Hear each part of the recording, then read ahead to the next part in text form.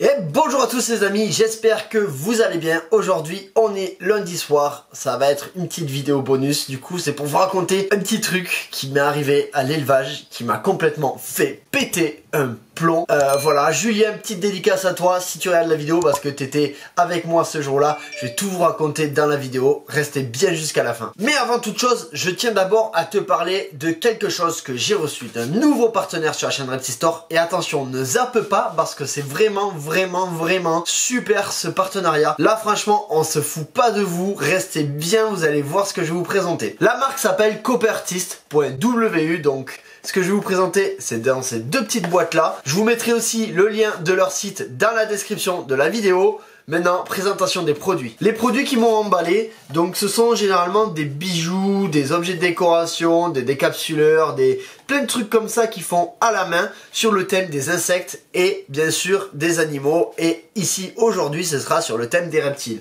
Donc déjà, l'emballage, comme vous pouvez le voir, euh, moi je trouve ça hyper qualitatif. On a déjà une très très jolie boîte, euh, assez qualitative, emballée dans un tissu euh, aussi très qualitatif. Et là, aujourd'hui, je vais vous présenter donc une petite vipère qui sert de décapsuleur à bière. Donc vous mettez votre bière là et vous décapsulez.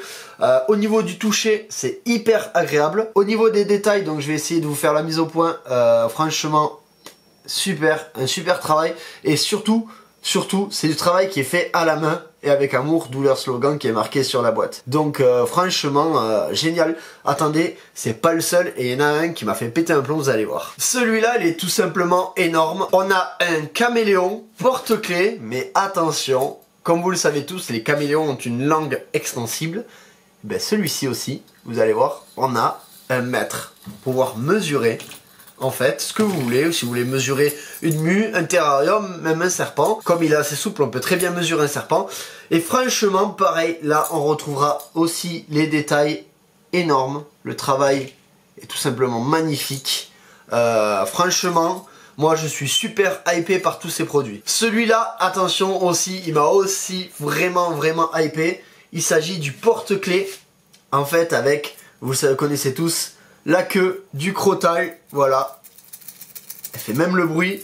Vous pouvez l'avoir bien sûr en option porte-clés, mais avec, il est aussi fourni un collier que vous pouvez du coup assembler pour pouvoir, alors vous retirez bien sûr l'anneau ici et vous pouvez le porter autour du cou. Franchement, c'est de super produits, la qualité elle est au rendez-vous, tout est fait à la main. Donc si ces produits vous intéressent, vous allez tous sur le site coppertist.w, vous aurez bien sûr le lien dans la description. Et attendez, c'est pas tout, on va pas s'arrêter là. Vous allez avoir aussi un code réduction de 15% avec le code ReptiStore15 que je vais vous mettre juste ici. Faites vos commandes là-bas, vous mettez le code du coup ReptiStore15 et vous aurez 15% de réduction sur votre commande. Attention, franchement, allez au moins y faire un petit tour. Moi je vous ai présenté aujourd'hui ces produits, mais ils en ont toute une autre multitude. Ils ont aussi des invertébrés, poissons, enfin plein de choses excellentes et très jolies. Moi je pense que je vais y aller commander des trucs pour moi personnellement. Donc n'hésite pas à toi à me dire en commentaire si tu allais faire un tour sur leur site. Bref, revenons à notre vidéo. Du coup je vais vous raconter quelque chose d'assez, euh, on va dire, folklorique qui m'est arrivé.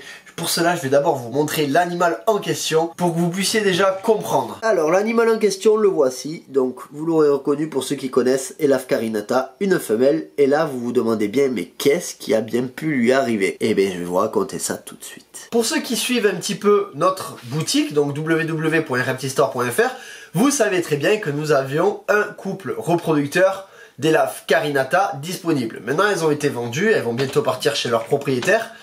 Donc ce qui s'est passé, c'est que moi quand j'ai fait l'acquisition de ces animaux, j'ai effectué une quarantaine. Et au bout de euh, un mois et demi à peu près, j'ai décidé de les descendre dans la pièce d'élevage. Et j'ai voulu les mettre en rack. Donc je chope le mâle, je le mets dans son rack, pas de problème. Je chope ensuite la femelle que vous venez de voir, et là, de speed, je galère à, la, à bien attraper, elle arrive à s'échapper, elle passe derrière le rack et la batterie de terrarium qui était juste derrière le rack.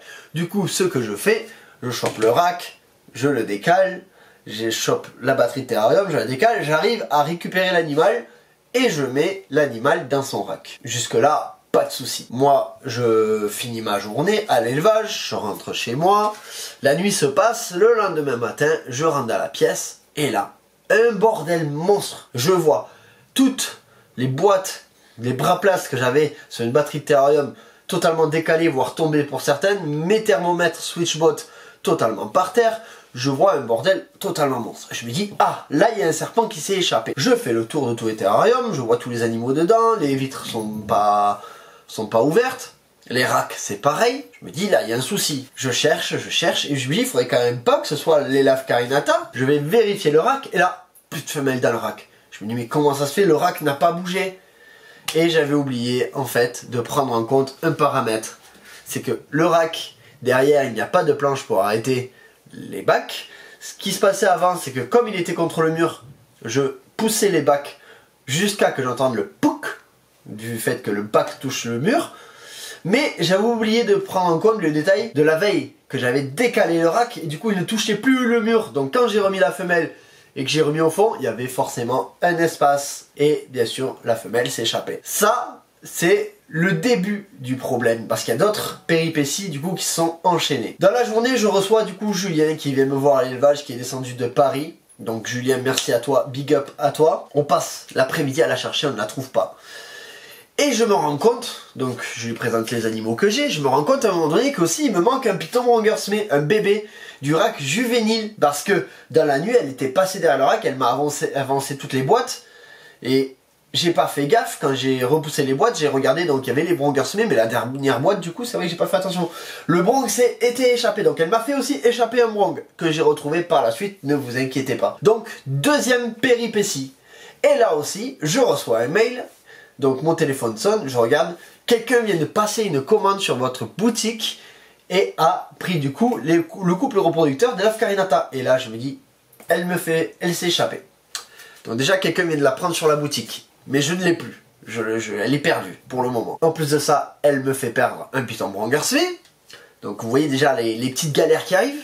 Et là, je me dis, mais comment est-ce que je vais m'en sortir de tout ça? Aussi par rapport à l'entreprise, parce que comme vous le savez, un petit sort sur l'entreprise, c'est aussi une grosse perte financière. Euh, le couple étant dans les 600 euros et le Python Brongers, mais euh, j'ai pas établi encore de ce prix parce qu'ils sont des, en démarrage, c'est aussi une grosse perte financière. Il y a aussi le côté euh, personnel, mais aussi le côté professionnel. Bon bref, avec Julien, on retourne toutes les terrariums, on s'embête, on s'embête, et à un moment donné, je sais pas, je, je prends une batterie, je la pousse vraiment, et en fait, elle avait réussi à trouver une interstice, c'est pour ça qu'on ne l'avait pas trouvé et elle s'était mise là-dedans. Donc ce qu'on a fait, maintenant je l'ai mis dans le terrarium dans lequel vous l'avez vu juste avant. Là au moins je suis sûr qu'elle ne pourra plus s'échapper. Voilà du coup la petite aventure qui m'est arrivée. Les amis, euh, j'espère que ça vous aura bien fait rire. En tout cas moi ça m'a pas fait rire euh, au début.